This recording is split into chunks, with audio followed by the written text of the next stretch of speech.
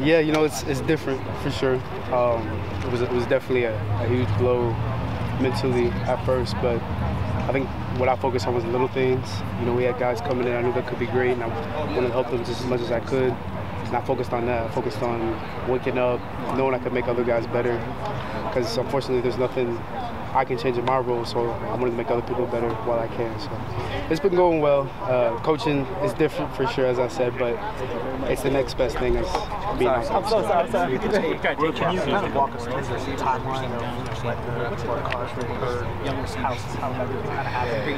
Uh, yeah, so I think it was around Tuesday that week. I was having some blood in my spit, coughing up. I just kept working out. I figured I had some throat problems. Just kept going because I actually my pulse and my oxygen levels were perfect throughout the whole week. I was just coughing up blood. Um, and then right around that Friday, I started getting pain in my shoulder, in my left lung area. Saturday, woke up, couldn't stand up, couldn't breathe. Drove myself to the hospital. You know, nobody was home, so I just had that instinct, you know, like just go. And thankfully, that new one opened up right off of exit 112 over there by Lin- uh, Tecumseh.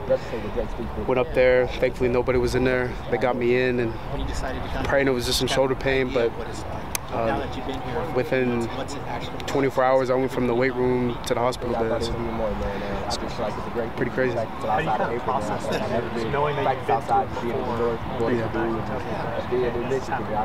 Yeah, you know, at first I didn't want to believe it, honestly. It's like, no way. You know, I'm 23 now. It's, there's no possible way something like that can happen twice. Um, but honestly, I just kind of took it for what it was. You know, the doctor's doing their job too. He's being as truthful as he can. And so when I heard the news, it definitely hurt. You know, I took took it right on the chin and just knew how to get better from it. I didn't want it to hold me down. I didn't want to become something I knew I wasn't not supposed to be. So I want to keep moving forward.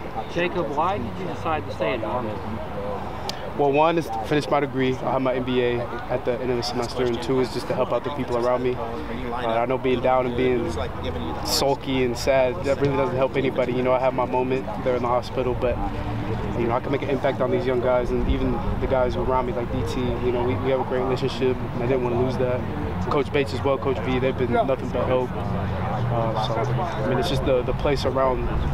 You know, you always want to make it better, and that's what I want to do. Kind of maybe the, the idea of playing long term? Do you think coaching is something you'll continue to do this year, or do you have other things you want to do with your career? Yeah, um, honestly, not sure about the coaching. You know, I, I love what it does for me. I love what it does for people around me, but I did get an education. I want to be able to use that um, in the business world or otherwise. So right now, I'm kind of interviewing different aspects of my life while you know keeping this option open as well.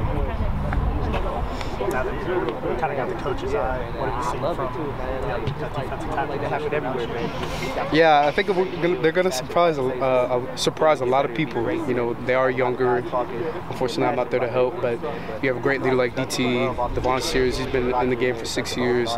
G Baby's been around the the scheme for a while. Even you know, it's a little different now with Coach Alley, but you know, same concept. So the young guys are catching on quick, and I think they're going to surprise a lot of people with how they play.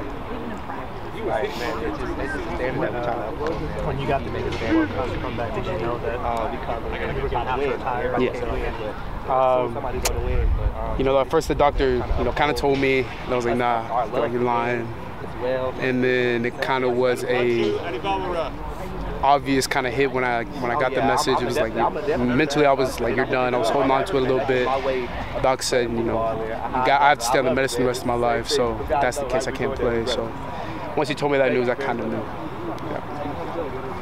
Cool. Yep. Yep.